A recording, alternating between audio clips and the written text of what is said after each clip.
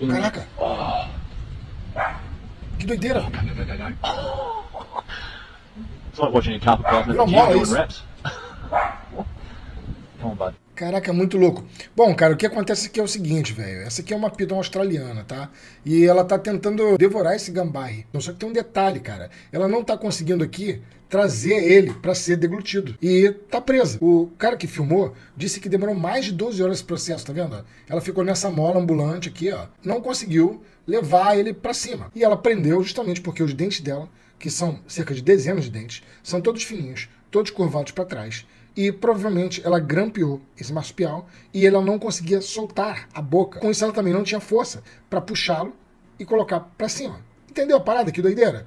Pois é, e ela ficou nessa mola, no vai e vem, por muito tempo, até o momento que ela conseguiu se livrar e soltar esse gambá. Ela não teve força e não conseguiu abrir a boca por conta dos dentes. Sinistro, né?